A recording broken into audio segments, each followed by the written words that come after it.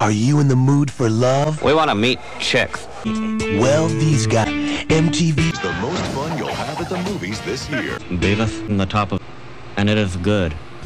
from 1-900 numbers to your dating, We should like throw a party.